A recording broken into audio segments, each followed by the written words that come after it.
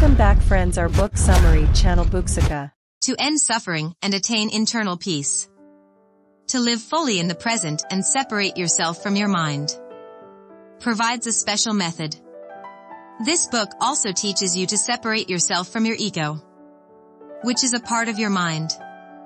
Who wants control over your thinking and behavior? It argues that by doing this you can learn to accept the present. You can reduce the pain of your experience. You can improve your relationship. And can enjoy a better life in general. Eckhart Tolle is a spiritual teacher and author. Who gives advice to people? Eckhart Tolle is called the father of modern meditation. We keep spending our time stuck in the regretful past, or worrying about the uncontrollable future. The core of Tolle's practical philosophy is to live in the present moment. So that, we can avoid those maximum pains. Which we usually experience. Friends, for a moment, we are regretting or regretting. The very next moment, we are making plans, or worrying. Meanwhile, we neglect such a moment. What is completely available to us is the present moment. Right now only the present is important because nothing happens in past or future. Things happen in a continuous stream of present moments. One dot live in the present, which we call past. It is actually a collection of present moments that have happened. Similarly, future is also a collection of present moments, which have not happened yet. This suggests that worrying about past and future is not beneficial. The benefit is to live in the present. If you learn to live in now. So you do not experience big problems. The problem that arises appears small. Which you can solve easily. So friends, stop clinging to the past and stop fearing the future. You will see how your life changes dramatically. 2. Pain which does not allow us to live in the present. Despite living in the present, we still have to face pain. During this time to deal with physical and emotional suffering. We have to understand this pain well. Pain, for those external things. There is nothing more than a self-created inner resistance that you cannot change. When you are unsatisfied with things. Still don't feel powerful enough to change them. So you experience pain. Pain, on an emotional level, represents itself as a negative feeling. You think a lot about past and future. But we can only live in the present. Because of this, you cannot change many things due to which you are unhappy. And it develops an inner resistance to things inside you. Which you experience like a pain. When someone upsets or frustrates you, and you feel angry. So your pain body takes control over you. Anger covers your ability to think. And after getting angry, it leads us towards pain. We think that anger comes from outside, but no friends, it comes from within.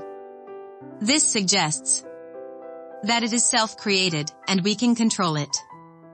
Mind is responsible for pain.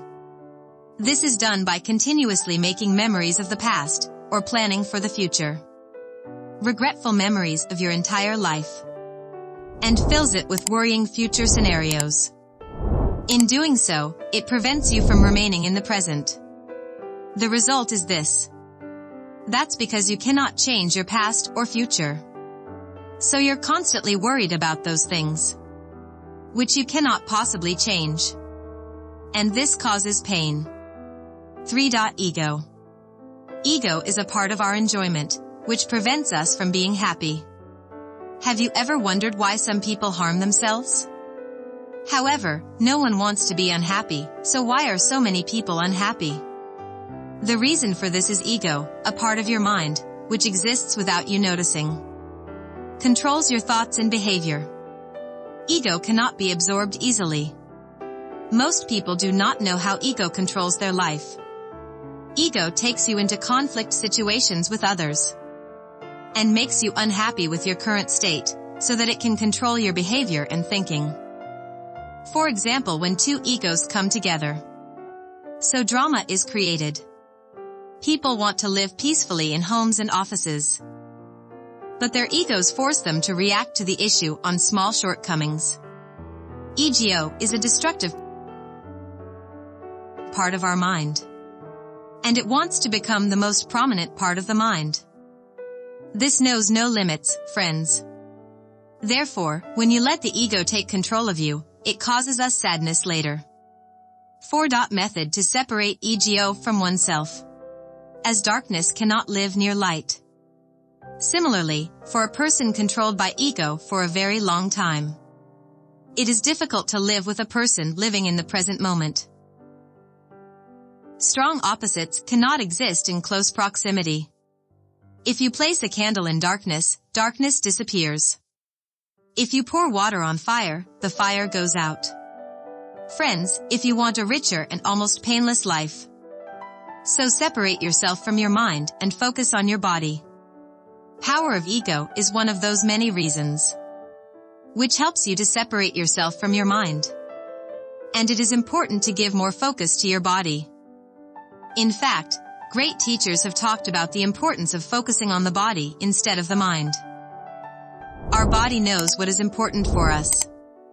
By listening to your body you can create a clear image of it. What is important in your life?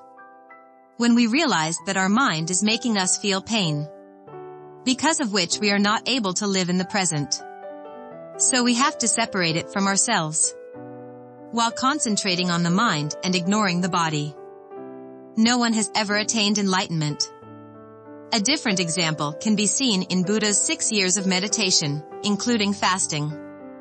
In which he had isolated his body by giving orders to himself. Result? They actually felt separate from their body, but not from peace or enlightened. He attained enlightenment only after abandoning these practices and once he felt with his body.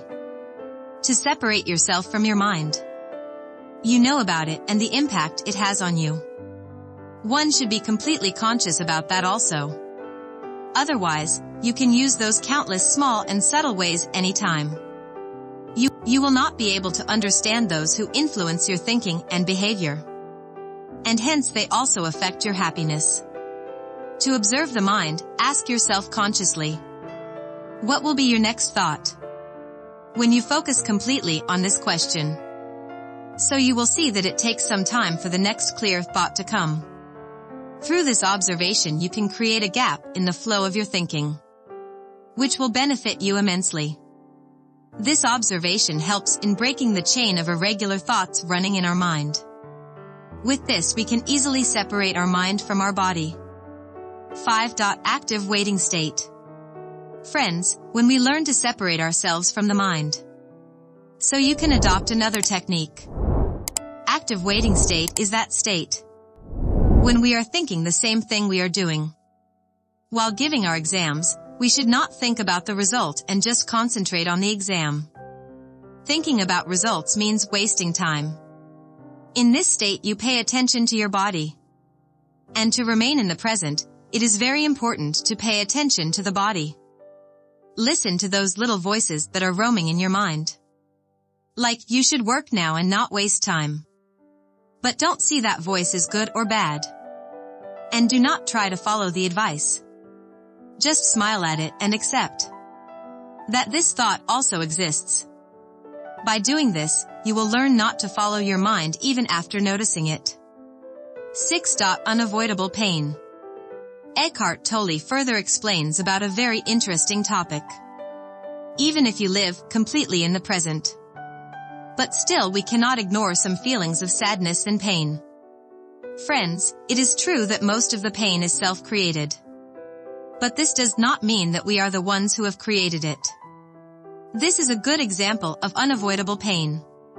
Those people who trouble us with their destructive mind. In such a situation when we experience something painful. So accept it exactly as it is. Friends, being sad is a natural feeling. You don't need to feel guilty about it, things are as they are.